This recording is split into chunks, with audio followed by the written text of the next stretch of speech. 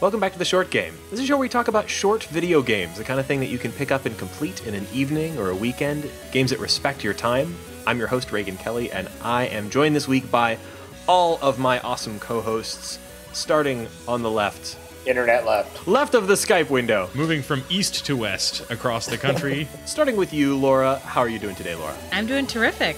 Uh, and Shane Kelly, my actual twin brother. How are you doing, Shane?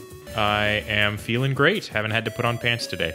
That is that is a comfort, isn't it? Yes, it is a great comfort. And uh, and Nate, how are you doing today?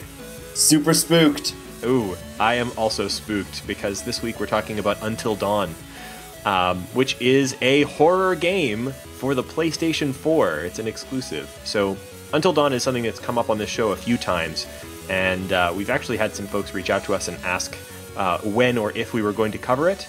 We probably would have covered it sooner, except that the fact that it is a really weird game uh, in terms of just, well, how it was produced and released. I mean, Until Dawn is a PlayStation 4 exclusive.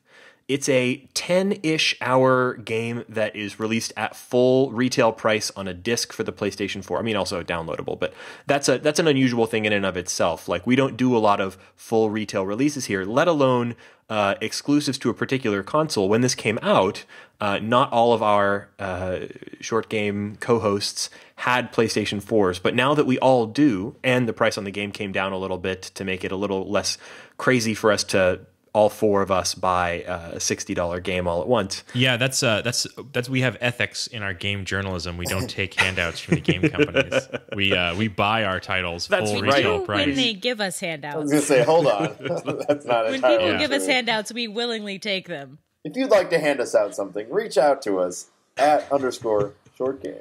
Yep, Guaranteed positive reviews. without a doubt.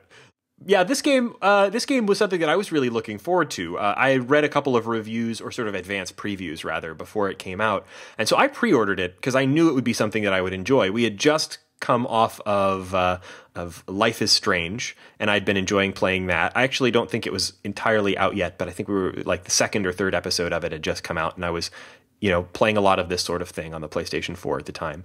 Um, and uh, I happen to be really into horror movies. My wife happens to be really, really into horror movies. And uh, I can vouch for that. She's obsessed. yeah, really obsessed. And so we were interested in playing it just because she thought she would find it interesting to kind of watch this game, even though she didn't really play it much herself because the QuickTime events weren't really her thing. And that's understandable. We'll talk about the QuickTime events in a little bit. Oh yes, we will. Yeah. So it's a 10 ish hour, incredibly gorgeous PlayStation 4 exclusive horror movie of a game. You're controlling all of the characters, All the teens. So, so many teen- teens. How many teens? eight. Eight right? teens. Yeah, or seven. Um, and also in full on horror movie trope, uh, one of a billion that it hits. It's a bunch of teens that look like they're in their thirties. and all played by really competent actors. So, like, this has a, a few. Uh, not to go over the whole list or anything, but you know you'll you'll see some recognizable faces, incredibly uh, well digitized into you know 3D models. So lots of uh, lots of good acting for a horror movie slash game. Yeah. Uh, what's the um, the guy from Mr. Robot? What's his name? Um, he's in it, and I knew that he was a voice in it. Rami Ismail. Yep, yeah, that's it. I knew he was a voice in the game. I was not expecting him to be a face in the game as well. Like these characters are modeled after like the voices that played them. Um, and he is a very distinctly looking person, and it was a pretty big shock. I like, "Oh, he's actually just kind of in this game." Yep. Like, One of my favorite moments in the game was when I realized that, you know, when you're playing as these re- very recognizable actors, if you pause, you get this sort of, or if you just sort of go idle for a moment, it zooms in on their face and your right stick just sort of puppeteers their eyeballs and their emotions and you just sort of like waggle your control sticks and you can control their uh you could just sort of create little scenes of your own by by doing your own voice. It has the most incredibly detailed facial models of any game I've played, uh, at least on the PlayStation 4, and probably of any game. I mean, incredibly detailed facial models. Uh, what about the Mario face at the beginning of Mario 64? Uh, I will say it's pretty motivating to keep the actors you like alive because I played this game like the day after Grease live aired, and one of the actors was just the most charming, like singer dancer on that show, and he has a little varsity jacket on during the number, and then he shows up as Matt in this with a varsity letter jacket, and I was like, oh man, I can't kill Duty. oh no! No, save duty. let me guess. You were unsuccessful at saving. I did save Duty. Oh, did you really? He survived. Wow, Alright. he's a tricky one to he's, He's a a tricky very one to keep alive. I think it was accidental. And so, as we mentioned there, you you're resp- you're responsible for keeping all of these characters alive. And in typical horror movie fashion, uh, dangerous things happen all the time, and it's it, there's lots of little moments uh, where you have to either react quickly or make choices. You have to hit triangle or sometimes square. you have to Shane, sometimes that's hit the circle button. Sometimes you have to hold the right stick while you hit R2 a few times. Sometimes you use the touchpad button. Uh, you navigate with a stick on your controller. Sometimes you waggle that stick Yes, around. yes, Shane, that does describe a video game. Um, a- and, actually, interestingly enough, um, this is a game that kind of didn't begin with almost any of those as the key gameplay mechanics. Good transition there, Reagan. Uh, this is a this is a game that actually began its life as so the, the developer is Supermassive Games, who I had never heard of, and odds are you probably hadn't heard of them before this game either, because they're a relatively small time, I would say, uh, developer in England, uh, and until now, their biggest games they're almost all like PlayStation exclusives and almost all of their games have been either ports or things like uh, HD like they did a PlayStation 3 HD remake of Killzone um, or they did the PlayStation Vita version of Little Big Planet. Or actually, no, I'm wrong. I'm just double checking this. They did some downloadable content for the PlayStation Vita version of Little Big Planet. Like they, they don't have a lot of big name games under their belt, and a lot of the games that they have done that were like theirs and theirs alone are things like Walking with Dinosaurs for the PlayStation 3. So this is their first really big name game. I think it's their first thing at all with original IP. Um, and they got started with it initially planning for it to be a PlayStation Move game. So I don't know if you remember the PlayStation Move. That's those horrible little motion controllers. Nobody remembers the PlayStation Move. That explains why they offered motion controllers, which I tried for about a minute and a half and was like, nope, nope, nope, nope. Yep. They really, really want you to use motion control in this game. So originally, the game was going to play out with you using the PlayStation Move controllers to do things like shine a flashlight around. Or, you know, there's tons of little moments in this game where you pick up an object and you have to like turn it over in your hands. You'd have been doing that. Um, things like when you have to unlock a lock and the game asks you to do like a basically a button combo in order to unlock a lock. All of that would have been uh, motion control in the original conception of this game. I'm not sure that would have improved it, but you know, Yeah, you know, I'm not totally sure that it would have either. And nobody bought those PlayStation Move controllers because nobody really wanted to play games with them. I mean, that's Did you guys even try the motion control for a second? I you actually have never. to physically like move your entire controller horizontal or vertical to make those objects rotate, and so I turned it back off. yeah, I did not consider it for more than three seconds. Yeah, it was bad.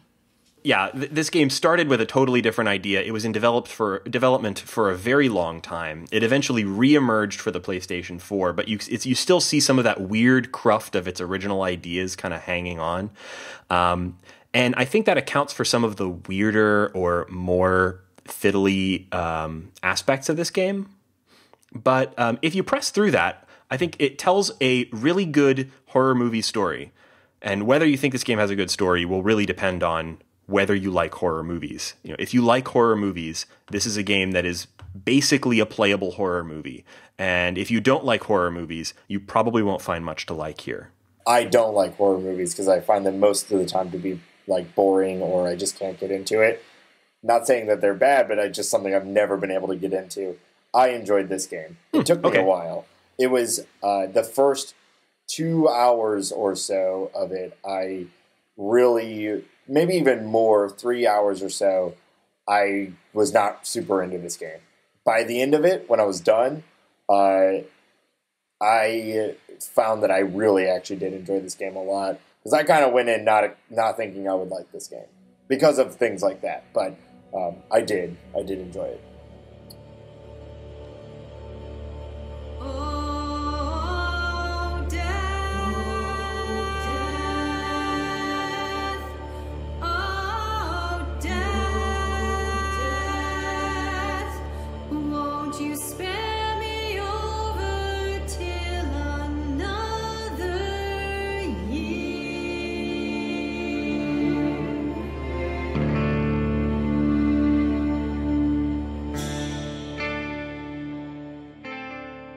One of the weirder things about if you're if you like some horror movies but not all of them, this is very much all of the horror movies in one. So Oh, yeah. if you're like I, you know, I just like a lot of supernatural or psychological horror movies. I don't necessarily like some of the other subgenres. So it was kind of like, oh, I see where these 13 ho- different horror movie genres were stuck in at different spots. Cool. I like two of those. Yeah, I think the only one that I didn't see in there was paranormal romance. Like no one was, no one was sleeping with any of the monsters here. Unfortunately, Um, that would have been a very see. interesting, uh, interesting twist. But yeah, the, the, it, every single horror movie trope, and we'll talk more about that after the spoiler break. Because if we were to list off every single horror movie trope uh, that we can think of, we would basically be spoiling uh, some of the joy of this game. the whole the whole thing. Yes. So uh, this is a game where it I think clearly is a descendant of the Telltale game innovation, which is to say it's a choose your own adventure plus a little bit of uh, gamey navigation and object interaction, right? Yeah, I think that you could say that it kind of takes a lot of influence from Telltale and a lot of influence from things like Quantic Dreams games like uh, Heavy Rain. Yeah, I haven't played Heavy Rain. I would also say a game that we did for the show that I felt had this is a bit of a stretch, but the Lara Croft game, um, in that it was long stretches of QuickTime events to ultimately decide like the direction you took um, action wise. I was having flashbacks to Ori where I couldn't hit the buttons fast enough.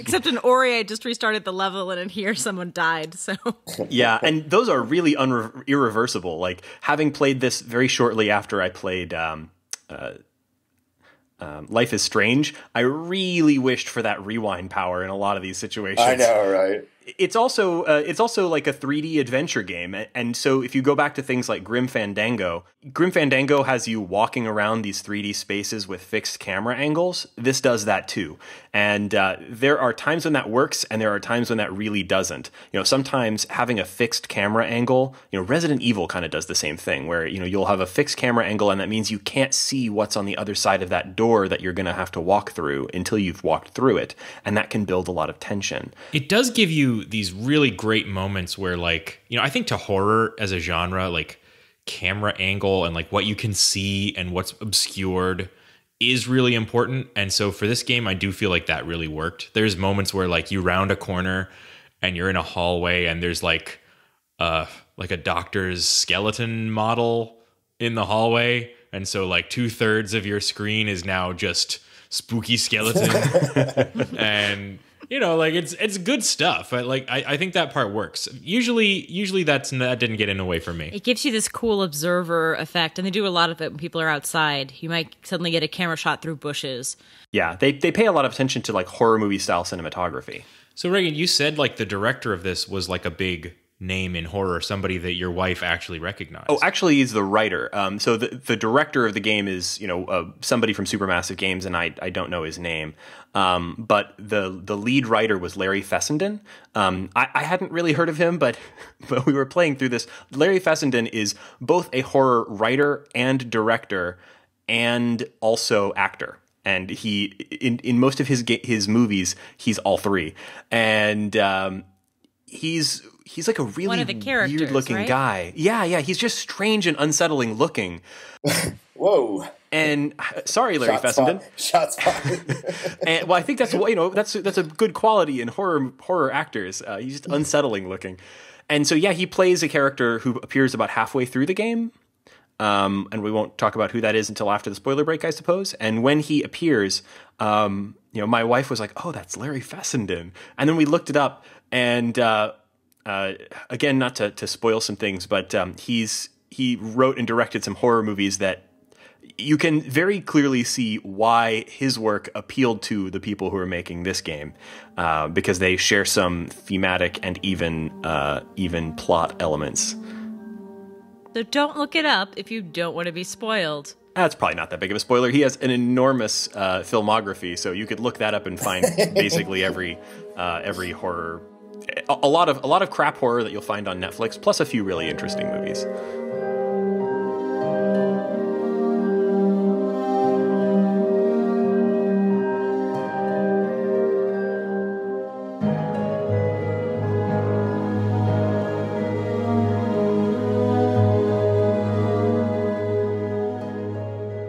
Uh, lest we give you the impression that this is a game that is nothing but QuickTime events, um, it is a game where you're presented over and over again with choices, and it does a really good job of making those choices meaningful. And those choices happen in a lot of different ways physically for you on screen. That that can be a choice between like walking left and right in a hallway, but it could also be uh, choices in dialogue where you're choosing between a couple of different things to say, or whether you choose to uh, run away from some sort of attacker in a fast way or a safe way. You know, that's one that comes up a few times. Do you want to go the fast route or the safe route?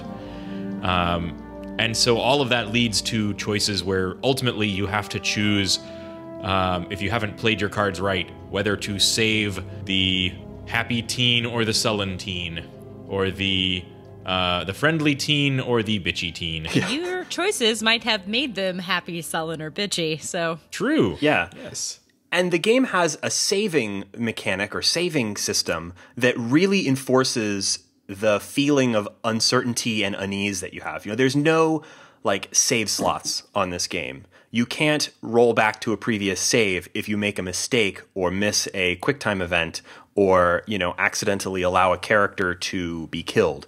If a character is killed and you want to go back, you have to start the entire chapter over uh, and that can be quite a quite a bit of time. Uh, and and it also auto saves everything that you do. So you really have to be ready to react at all times, and you have to kind of commit to your choices once you've made them. Yeah, and don't start the episode over or the chapter over. That's No, lame. don't. Yeah, that that, Yeah. that would be lame. If, if you do that, you're lame. And I'm sorry if any of you guys did that because that's lame. I didn't do that. That would be lame. yeah, exactly. Um, Didn't even know you could do that. I didn't know someone could be that lame. yeah. I'm, I'm actually doing a second playthrough right now, and I have done that a little bit because I have. Uh, oh, here's the part where Reagan describes he's lame. how Yep, lame, I'm how lame. lame Reagan is, yeah. Well, uh, I've been I've been trying to go through a second time and try to have a playthrough where everybody lives, and that is Yeah, possible. that's different. It is That's possible to get through this uh, this horror game full of death and just make sure that everybody lives. But man, you missed that square button one time. Yeah, But they don't make the any most of these choices are not moral choices. It's not like you're choosing between one that's like be a terrible person or be a wonderful caring human being. It's not like a you know, some choices in some other games have felt like, oh, the game wants me to choose this. They try really hard to make you know, some of the dialogue choices, yes, you can decide if you're going to be cruel or nice, but a lot of the meaningful choices are really neutral. And I very much appreciated that because even if you've watched a million horror movies, you might not know in this circumstance whether you should investigate the noise or keep walking. Oh man. And I know exactly the choice that you're talking about right now too, and that one was the worst. I thought it was super obvious which is the right one. It did to me too, but apparently I well, I thought it was trying to psych me out. We'll talk about that one in a minute. So you're bringing up the idea of the butterfly effect, which is a mechanic in the game. Starring they have a whole Kutcher. a whole screen dedicated to it, where certain choices, and you don't know which choices these are until after you've made them, uh, trigger what they describe as butterfly effects. And there's there's a menu you can go into and see what your choice was and what the result was of that choice. and usually several results that play out across the rest of the game. So if you make a choice, uh, then it'll tell you that that has an effect, and you'll see a new entry on your butterfly effect screen. Um, and then as the game progresses, you'll see the ripples of that effect and new uh, repercussions to that effect will appear on the butterfly effect menu so that you can go back in and look at all of your key choices and page through and see, well, because of this, this happened, and then because of that, this other thing happened, and so on. Yeah, they say that um, the developers of this game have said that there are because of this like route um, or this this mechanic, there are essentially thousands of different like ways that this game could be played through. Obviously, we're talking very subtle differences among those thousands, but like the chance that you played through and had the exact same game as it, you know as anyone else is pretty pretty unlikely. Even though the major outcomes and the major changes are often decided by just a couple choices, um, there's so many little divergent paths that this game can definitely um, be played through multiple times. the plot is fairly linear, um, but uh, any one of the characters can either be alive or dead by the end. And that happens for so many different kinds of reasons. So sometimes that the uh, you know a character's death might be due to something like a missed uh, QuickTime event, but other times it might be some sort of fairly innocuous seeming choice you made uh, has a really surprising sort of ripple effect that causes the situation to be just different enough that something major happens a little way down the line. Um, lots of different ways that these characters can meet their fate. Yeah, one that that came up for me, and this I hope I, I'll try not to spoil anything as I say this, but one of the choices, um, basically, uh, the the effect of that choice is one of the characters may or may not get a tiny scratch on their a little scratch on their face, and then later on they're trying to hide, and that scratch has a little blood drip that could either give their position away or if they haven't been scratched, it doesn't. So it's that kind of little butterfly effect type, you know, ripples of of causality that go throughout the rest of the game. I thought that was really interesting, and the fact that they let you keep track of what those choices were and you know see what the effects are as they unfold explicitly is pretty nice.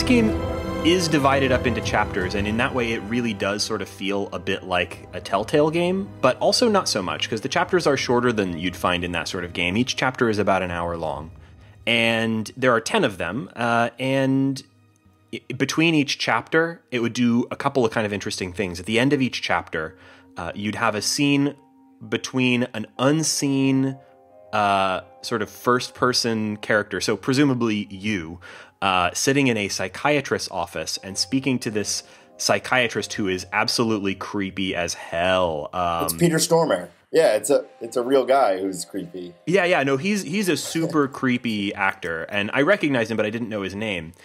Um, and so his performance is fantastic. And in between each episode, he'll have a sort of a psychiatric visit with you and ask you questions about your your interaction with the game. So he'll ask you like, "Do you think you're uh, a loyal person?" Do you think that you're displaying loyalty through the way that you're playing? And you know, he, when you respond to him, he'll he'll bring those things that you say in the psychiatric sessions up again in in the future. Um, and sometimes it's just verbal, but other times he'll give you a book of uh, of drawings and ask you what your reaction is to them. Or at one point, he asks you to rank all of the different characters in terms of how much you like them. So my absolute favorite part was that he gave you he gave you a variety of spooky things. That was my favorite too. and he asked you he asked you which was most scary. And I was like, oh, I have to be honest, but it's also going to scare me more. I know. I know. I I ranked clowns pretty high and then I kept seeing clowns come up in the game. So, I'm not sure if me saying what was more scary like that I was more scared of clowns than oh, I'm sure it did. but mm-hmm. that spiders were scarier than snakes like was the reason that there was like a like a like a scarecrow with a clown mask that like jump scared me later but but i'm pretty sure it is There was a big old like wolf in mine, and I and I picked it and I was like, ah, you're scared of dogs, and I was like, no, I'm not. I am not scared of dogs. Wolves. I'm scared of this wolf. Yeah, I thought that whole sequence, all of the sequences with the Doctor, were really well acted. Um, but also, I thought they were really interestingly integrated. At first, you don't know how they relate to the rest of the game, and it slowly becomes obvious of how it does relate. And I thought that was really good. But also, they become slowly more surreal. At the at the start, they're just a psychiatrist visit, and then you know, the third or fourth psychiatrist visit, things are starting to get pretty spooky in that psychiatrist's office. Oh yes. Um, Yeah, I, I was getting some uh, uh, cabin in the woods uh, vibes, kind of like a dark architect of the whole thing. and so meta. Like he's saying, he's actually saying things like, "So you have chosen to play this game. Mm-hmm. That is not a good idea." this game you're playing is uh, is it working out for you? I he he does not accent. have He's that not accent. that Russian. he's just he's just a, he's just a really spooky He's got a guy. magnificent accent that I could never yeah. repeat. incredibly incredibly well uh, voice acted and and the facial animations are so well done so anyway that part is really really good and then after each of those when you begin e- the next chapter it does a last time on very typical of like your tv show type thing and i was surprised that they did those they do them every single time even if you're playing multiple chapters in a session um, and they are a little helpful if you're coming back to it after a while, which is nice. I tended to play like two chapters per sitting. Um, so I played it over a series of about five nights. Yeah, I think those are great. I, I think inviting your player to like take a step back and like come back to this later, especially on something like this where, you know, it's it's a you know, it's an essentially in a TV format, you know? Like having having that recap was really helpful to me because I knew where I could take a break uh, and have it like fit with the beats of the story. And I knew I could put it away for a while and not come back and forget like which teen is which. you know, this game has, in typical horror fashion, like a billion twists and turns. You know, if you were to skip from, if you were to play the Yeah. first chapter and then play like the eighth chapter, it's like an entirely different universe It's complicated. that you're that you're playing in. And what they do is, uh, before each chapter, they do the thing where like they'll pull the you know the previously on is very selective to what you'll be encountering in that chapter you're about to play. So like you might not remember this one little reference from the first chapter, um, but fortunately they kind of they put that specific moment in the previously on, so you're kind of reminded. It's very much like the previous on Game of Thrones, where they'll show a character that you haven't seen in four seasons. You're like, oh, interesting. That's what I got a little bit of that. You might see a character you haven't seen in a while, and you're like, hmm, okay. Thanks. Guess who's coming back this week? So Would be kind of a fun way to play this game would be to play like one episode a week. I, I almost kind of wonder why they didn't release it uh, over a series of weeks. You know, uh, each it release it as downloadable, like uh, episodic content, kind of like uh, Life is Strange or the Telltale stuff. Uh, I, I suppose I kind of see why in that being like a PlayStation 4 exclusive and being a um, you know the, the way that the game was developed and promoted. I think that maybe that might have been a consideration. Also, the fact that the chapters are relatively short and that you know usually if you have a, a game like this where you're jumping between characters often characters would disappear for a while so if i was coming back to like if i played chapter five um, several weeks or months after i played chapter one it might have been coming back to characters that i hadn't seen in a while and wouldn't really remember so It does also make the butterfly effect stronger if you can remember the actions you took when you move forward. So playing once a week makes sense, but I wouldn't go that much farther than that. Yeah, and I'm I like episodic for sure, but I'm also cool with like not episodic. You know, like if Life is Strange would have just been released as like all five parts and I could just sit and play them all right out of the gates, I would have been happy with that too. I like that like Life is Strange they were developing it and taking feedback as they move forward. Like I see that as a benefit of episodic, but I don't I I don't really need it, you know? Like I don't think it would have made this game any better to only get to play it once a week. And we're about to go to our spoiler break. Does anybody have anything uh, that you want to say about the the story or gameplay before we get into talking about the specifics of the spooky teens and horror tropes that uh, made this game what it was?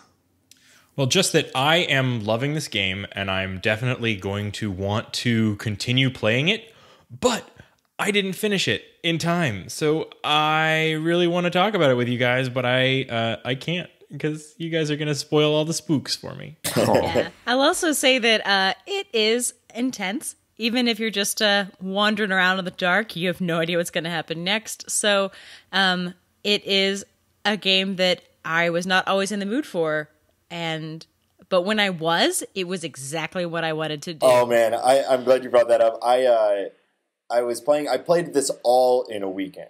Um, I, I actually this game is still on Redbox. I had never done Redbox before, but I got this game at 7-Eleven, and I returned it. I got it on Friday, and I returned it on Monday, and it cost me nine dollars. So that's pretty tight because it's like sixty dollars new. Um, but anyway, I also in the middle of this.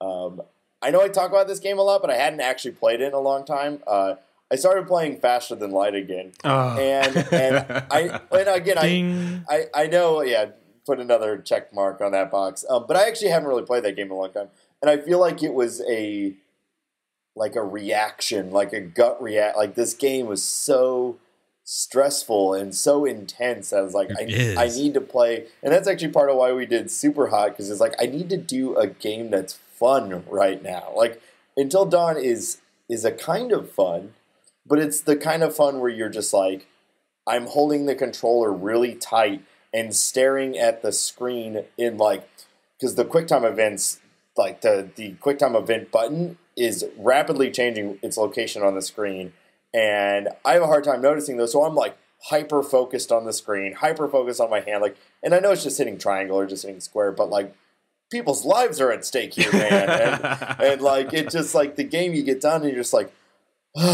And the best thing you can do for yourself is make an environment to love this game because finishing the game at 2 a.m. in uh, alone in the apartment that I usually Mhm. share with another person, with it snowing outside and it being dark, was like was the best decision I made. Oh, yeah, it yeah. freaked me out. It destroyed Yeah. my sleep, but it was the right decision. I finished it on late at night too, and when I was done, I just like walked around my house for like 15 minutes. Also, very much regretting a decision that I Yeah. made. But you we'll, do really uh, have to be in the right mood for it. You're right, and and setting the mood is kind of important. Probably, uh, if you if you have a special way that you like to watch movies, I would go with that rather than however you normally play games. Like I would treat this like sitting down to watch a horror Yeah, movie. no, I, I would totally agree with you on that. This is a movie. This is not really a game. This is a interactive movie in the i- in the style that when people first saw video games and they were like, "Oh, we can make interactive movies." This is the kind of thing that they were thinking about, and it finally has. It finally here, guys, and uh, yeah, just it's it's gonna get it's gonna get you scared. And Enjoy your future of spookiness, Shane. I will. One, uh, we've had some little complaints about the the game, and and one last one that I want to mention before we go to spoiler break um, is that you can't skip anything, and that that you that makes perfect sense when you're playing through the first time, right? You know, you don't want to skip anything. There's dialogue and stuff. You can't skip the dialogue. You can't fast forward through the dialogue. You can't skip any uh, walking around, anything like that. You can't run when you're doing the walking. There's no run button. Yeah, the, the walking speed is all pretty slow. I'm playing through it a second time right now, and I really wish I could skip the dialogue because I'm trying to do a perfect playthrough where I survive every, you know, all the characters survive, and also I um, I find all of the secrets. I don't usually do that with games like this, but I, I, I got this. I like this game enough that I decided I wanted to to you know give it another playthrough and do all of the stuff. And I've got all of the secrets now, or at least I'm pretty sure I've got all of them. But there's a lot of points in this game where like there's a lot of choices, but they, the really meaningful ones that have a huge effect on whether people survive or don't are pretty far apart. Um, so playing through the game from beginning to end again, trying to keep all the characters alive has actually proven a little bit tedious. I would say that for most people, unless you're really, really into this specific style of game, you're probably not going to want to play it twice. And I think Or they could have made while. that, yeah, maybe. And they they probably could have made it a lot better for this sort of replayability if they'd just given me some kind of fast forward. Like, please let me skip through this dialogue that I've already heard. Um, but they don't. So, you know, be warned.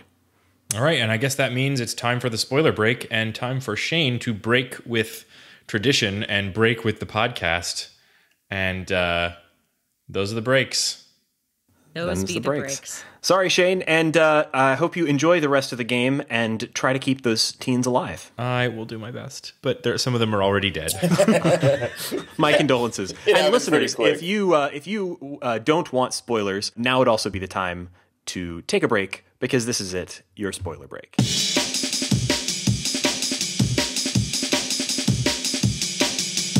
So I think we should start this spoiler side discussion. Um, trying to come up with horror movie tropes that um, were maybe not in this game, or at least let's go through the horror tropes that were in this game. Yeah. Um, Every single possible conceivable horror movie trope makes an appearance here. I mean, and actually that's that's an achievement all by itself. If this had been made just as a horror movie, I would have like I would have looked at it and thought, "Wow, that was a grab bag." And yet it it kind of worked. Like if you were going to make a 10-hour long horror movie, um, of course you're going to throw everything in and they really throw everything in here. I mean, including like there's a part where you are in a girl's, you know, you're in Hannah, one of the the dead girl's bedroom, and you lift up, you know, oh, it's a little ballerina in a in one of those little spinning ballerinas in a music box. I was like, no one owns those except in horror movies. and it was just a tiny thing they threw in just just to be in a horror movie, and I adored that stuff. there's Ouija board, you know, um, mistaken identities. Um, Spooky ghosts in a spooky basement. There's jokesters, lots of jokesters. Sometimes the pranks go bad. I mean, first off, I mean, this is about a bunch of teens in a cabin in the woods. I mean, we didn't mention that. If we didn't mention that at the start, like, this is literally the most classic horror scenario.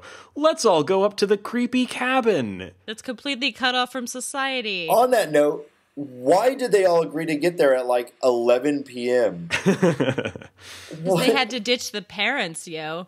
What Yeah. decision making is that? So late that the gates are locked and they have to climb over them. It's like meet at noon or something. Like Right. it's so strange that they all get there so late at night. And then they find out, of course, that the cabin is on Indian land. yeah. Another and oh, and, and there's a escaped uh, mental patient on the loose, and like literally every possible horror movie trope gets thrown in And here. they just want a bone.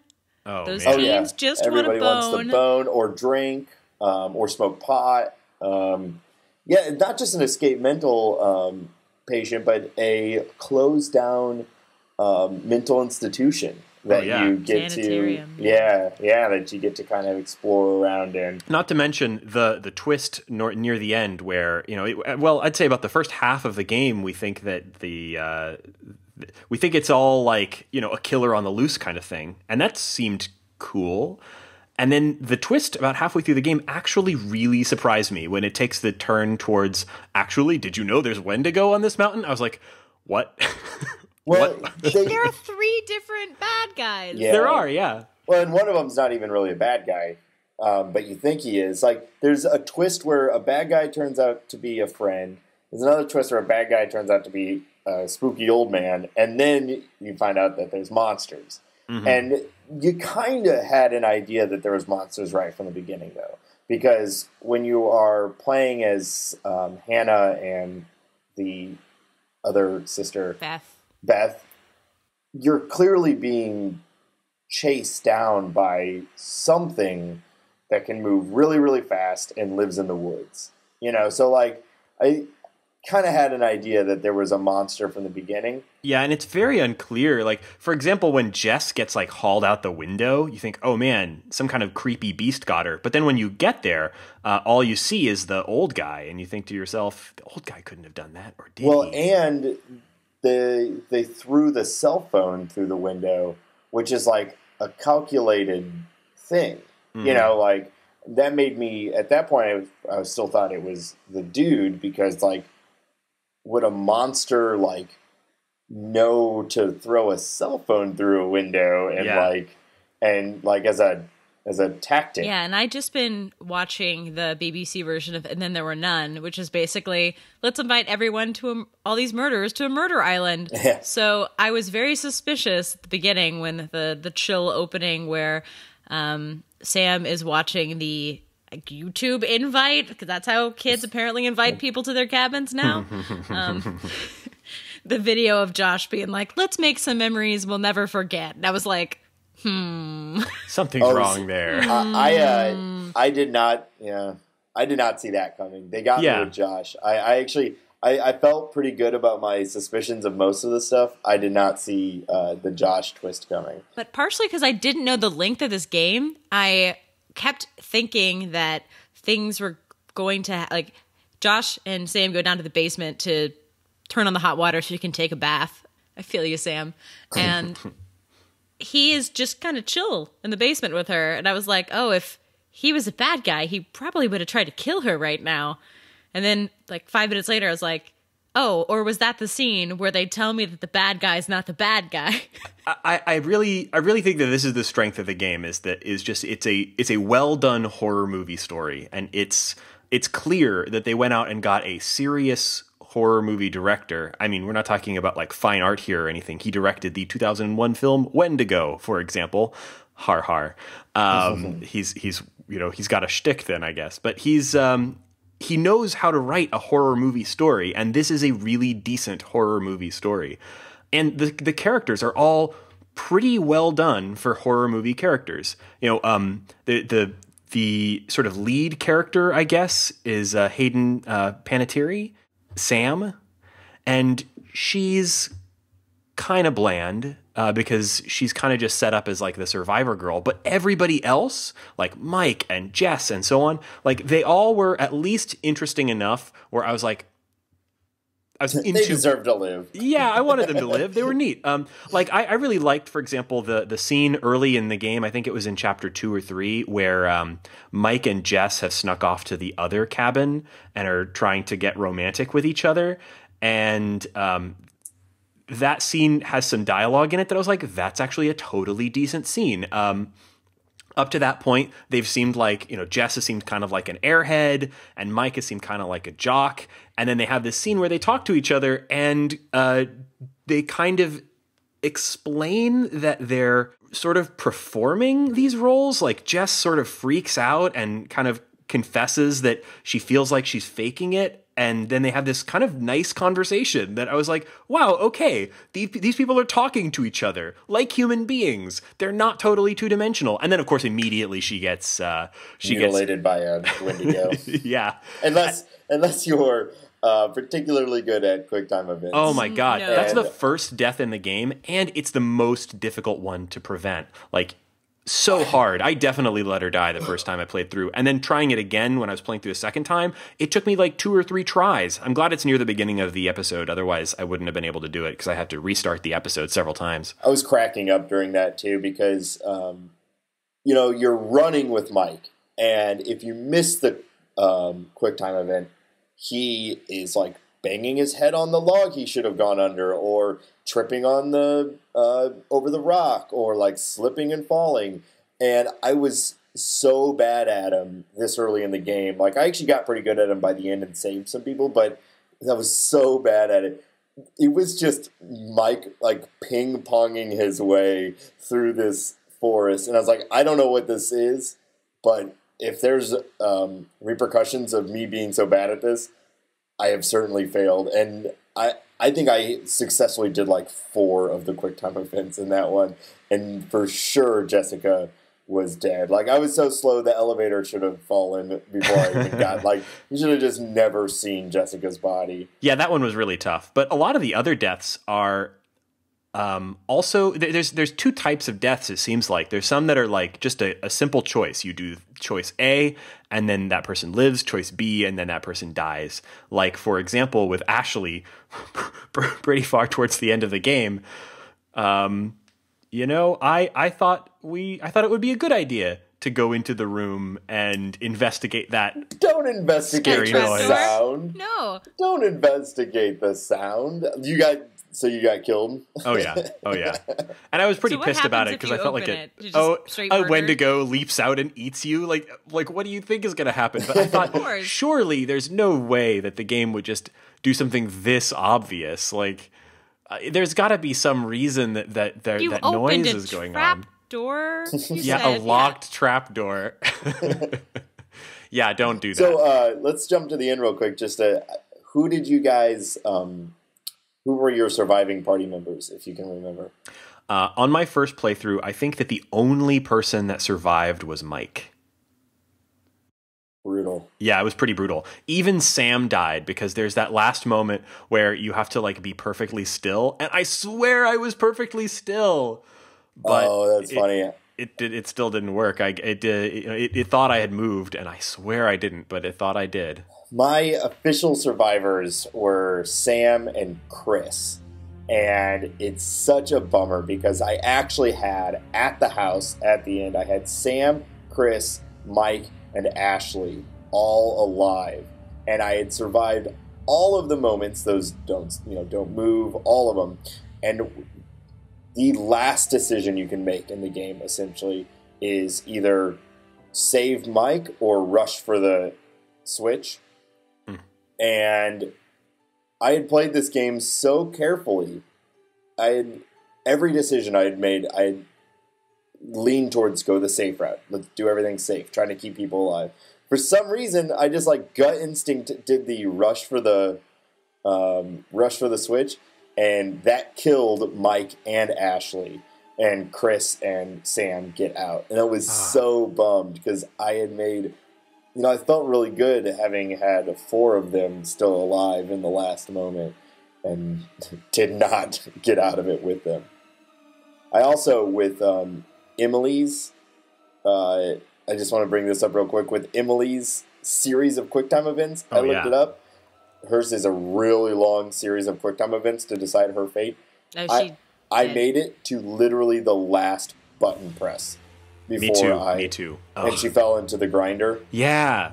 Yeah, she she's she's. I remember some of the deaths. I I, I got. I got um, Matt through, and I got Sam through, and I got I got like random people through, like people who they clearly did not think I was going to survive did survive, but I lost like all the people who were who I think the game wanted me to have survive, like Mike. I felt like probably I should have saved Mike, didn't manage to save Mike. I end up with like the random supporting characters alive at the end. Yeah, that's how I was with Chris, Chris. Chris survived, but like I- I didn't have to do like apparently once I got through a certain amount of time with Chris, like he was not gonna die. Basically, if you make it through the Wendigo chase with Chris, he's gonna make it to the end. So yeah, Chris, Matt, Sam. there's so many um uh so many different types of deaths like the chris one you have to be pretty good at that like it's not a quick time event it's a point and shoot kind of thing that you have to aim quickly and accurately um, and then you know emily it's a series of quick time events uh, sam it's that thing where you have to hold your controller perfectly still so that you don't attract attention um, And that also with Matt. Matt, you also don't move. oh yeah same thing so yeah yeah, so I got three out, but two of them were because I didn't move. Matt got put on a meat hook. Oh, Mine. how'd that his- happen? Through his face. I had made it. Um, I also made it really far with him, and it's during the um, when the uh, tower is collapsing, and you and and him and Emily are about to fall into the old mine. There's another trope, trope, an old mine, um, and if you choose to, you have two options. You can either try to save Emily or jump to safety. If you try to save Emily, it results in the whole thing collapsing um, and Matt falling into like a side tunnel. And there's a Wendigo right there who picks him up and puts him onto a meat hook. Uh, unless you have the unless Matt has the um, the flare gun, and that's one of the weirder ones. If you really want to save Matt, you have to kind of plan ahead. And I mean, I, I don't think I would have been able to do it without looking some stuff up. I, I've I've managed to save him so far in the uh, in my second playthrough. Oh, you I did, did Laura? save Emily. You saved Matt. Well, if you drop Emily, I think it's easier. It probably it sounds like it's easier to save Matt because you don't get impaled on a meat hook. Yeah, I didn't have a choice. It was once uh, once I had fallen. I had chosen to save Emily. Didn't, by the way. He fails at it. They both fall, but he falls into a different spot than he would have fallen if you had choose, chosen jump to safety. And I guess maybe if I had the flare gun, I could have shot the Wendigo or something. But I had there was really out of my hands at that point. No, I just hid. I mean, Yeah. I hid a lot with Matt. Like at the end of the game, I didn't have a flamethrower, but I hid. Uh, to save Matt, you, you he has to have an unused uh, flame like uh, a flare gun, and I think that you're right. I think it might be different if you let Emily fall or something like that. I'm not 100 percent sure on that, but yeah, i in order, if you're going to save everybody, you have to make sure that he has the unused flare gun. And the problem is that there's some choices you can make earlier that will cause him to use the flare gun immediately, and it's actually just a dialogue choice. I don't remember exactly what it is, but I think it's I think it has to do with whether or not he wants to go with Emily to the fire tower or not, something like that. Um, but depending on how he feels at the time when he gets the flare gun, he might just use it immediately, which means then he doesn't have it um, uh, to to use later to to defend himself, which I thought was like one of the harder ones to predict. Yeah, I I didn't try to save Emily mostly because at that point we were fighting and I was pl- I think that day I was like playing for maximum teen drama. So so I didn't try to save her. That's a good way to go. That's a good way to go in this game. Play for maximum teen drama. Duty survive. That's all that matters. Yeah. well, I'm glad that you managed to save Duty from Greece. Um, and I'm playing through it a second time now, and uh, looks like I might be able to save everybody, and I'm looking forward to that. also, spare thought we don't have to put in the podcast, but I definitely had the thought when they were moving in. I was like, where are their grocery bags? Oh, right. It's like these teens are gonna starve. They didn't even bring booze. They're getting there at ten. They have no food. They have no food. Also, that guest house is like three miles up the mountain from the normal house.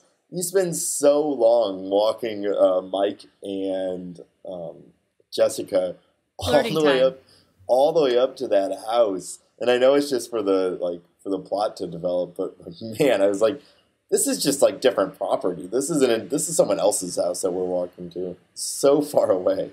So, all in all, a pretty good horror story, a pretty good horror movie, really. Um, and so, if that's the sort of thing that you like, I think um, you should watch or play this game. Like, I, I really enjoyed playing it with my wife. We we had a really great time, kind of. Um, we, we enjoyed it the same way that we enjoy horror movies or, or horror TV shows. Like if that's something that you enjoy, or or even if you don't enjoy horror movies and you enjoy this sort of Telltale style or sort of Telltale style uh, adventure game, also worth giving this a try. I would say, and I don't say this very often, but I would say maybe wait for a sale on this one.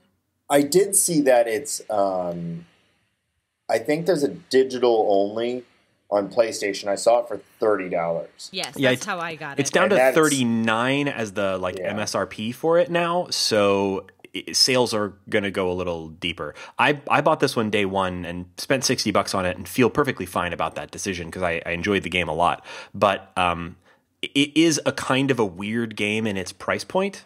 Like I really think it's a strange thing that there's a sixty dollar, uh, you know, big budget, triple A, incredibly technically well done game in this genre at all. And I I don't think we're going to see any more like it. Like I think this is a really weird one off thing. I don't think that you know Supermassive is going to turn around and make Until Dawn two um, and have it be the same level of budget and production quality and also this same short length and gameplay style. Like this is a really weird game in its Yeah, niche. And I don't think we really hit on hard enough that this game is really pretty. I, I know we said it looks good, but like they definitely spent their mo- you know the money that they had on this game was spent. You know, like it's Mm-hmm. a very technically sound game. Yeah, gorgeous graphics. It's a real showpiece for the PlayStation 4. Yeah, we just don't tend to get a lot of those at the short game because we tend to do a lot of really small ones, and this one is luxurious. Which is weird to say about something that has so many skulls and like and gore.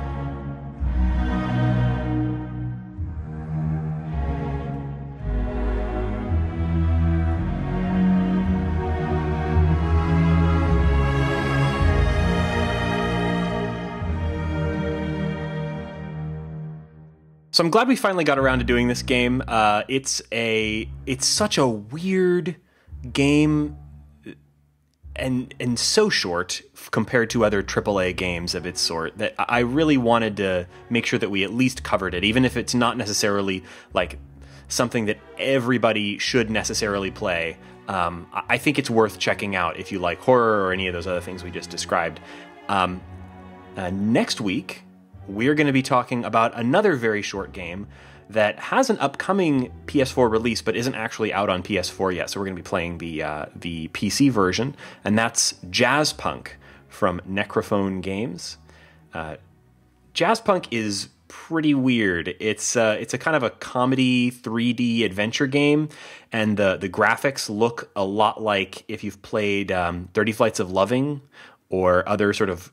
It, it's it looks like um, a bunch of very weird, blocky, non-realistic, sort of representative 3D graphics, and uh, it's sort of a spoof of uh, of I guess a spy story. So I'm really looking forward to, to talking about it. I played a little bit of it at uh, uh, at PlayStation Experience uh, on the PlayStation 4. Just their their you know they had a, a demo of that there and got kind of interested in it and I really enjoyed the game. So I'm looking forward to talking about it. Love a good spoof. As opposed to a good spook, which was this week. Yeah. Oh man. Someone has to do the dad jokes, man. Yeah, you know, I, I'm I've fallen down on my dad jokes th- this week. Thank you for picking up the slack, Laura.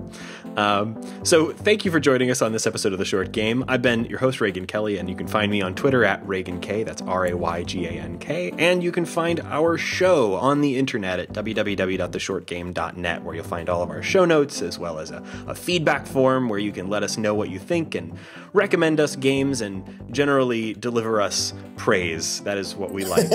um, if you uh, go on iTunes, you can also review the show, which we really appreciate. It helps people find out about us, and uh, we do read those and get a little thrill out of it every time.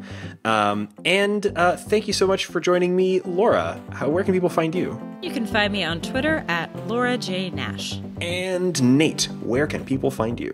You can also find me on Twitter at NateSTL. And join us next week on The Short Game.